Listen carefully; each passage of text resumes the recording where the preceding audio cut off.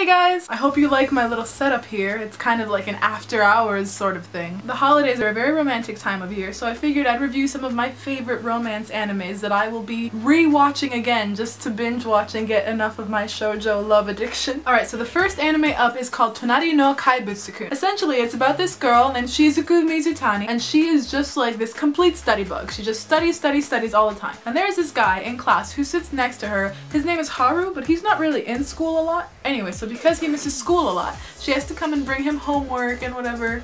And so he meets her and instantly befriends her. He's like, oh my god, we're friends now, right? This is incredible.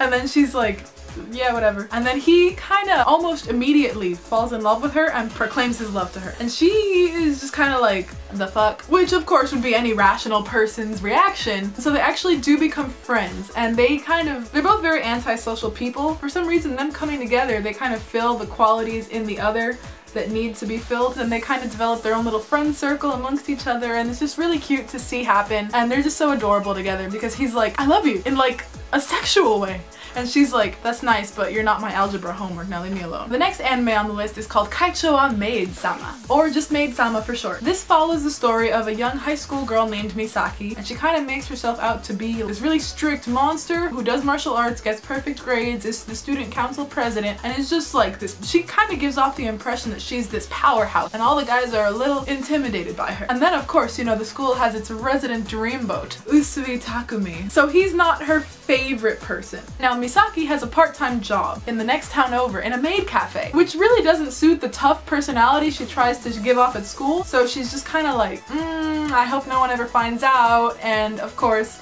who finds out other than her favorite person. Usui seems a little love-struck at first, but it's always done in like a comical way. And their interactions together just as characters are just really cute and you know, they, they kind of team up on a couple projects. It's fun to see their relationship grow. My next favorite is I don't know if you would call it a classic yet, but it's very famous. It's Ouran High School Host Club. Ouran High School Host Club is about this girl named Haruhi who kind of just dresses like a dude. She doesn't really care too much about her appearance. Anyway, one day she's looking for a quiet place to study and ends up breaking this vase that costs like a fortune. I don't know, she's poor and goes to a school full of a bunch of rich douchebags. And they're like, well, how are you gonna pay for this vase? One of them is like, well, looks like you're gonna cross-dress and work for the host club. And they just entertain women and, you know, Haruhi ends up working there throughout all of high school to pay back the vase. But along the way ends up making friends with an array of handsome, eligible young bachelors. And she gets really close to them and makes really good friends with them and it's really cute to see everyone kind of grow close and it's just the sweetest thing. And finally, my favorite shoujo ever because it's got such nostalgic value to it more than any of the others.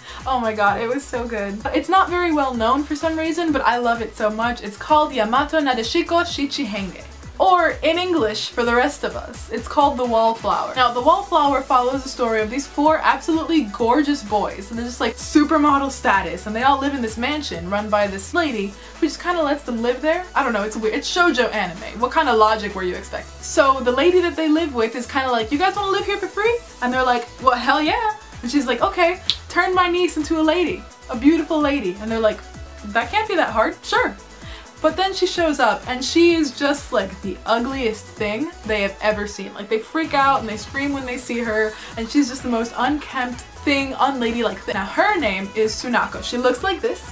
She's the kind of girl that instead of doing her hair and makeup every day, prefers to watch a bloody murder movie. So the first episode kind of ends with all of them being like, what did we get ourselves into? Oh my god. This anime is particularly near and dear to my heart because I found it at the perfect time when I was young and in middle school and having my own self-esteem issues. And so I really identify with Sunako as a character and it's just a really, really funny show. The only issue some people seem to have with it is that at times the animation kind of shifts from them being gorgeous supermodels to them all being little dough men. But mean, it's really cute otherwise, and if that doesn't bother you, it's really one of the greatest shows because it tells you a lot about what it means to really be beautiful. And I think that's a great message to have along with a beautiful romance story. There is a romance in there, but uh, you know, I'm not gonna tell you with who. So those are my top favorite shoujo anime. Um, I only have four, and I kind of like top fives. So if you guys have any recommendations that could fill in that number five spot, please tell me about about it in the comments below. I'm gonna be looking for things to watch this winter break. So I can't wait to hear what you guys have to say.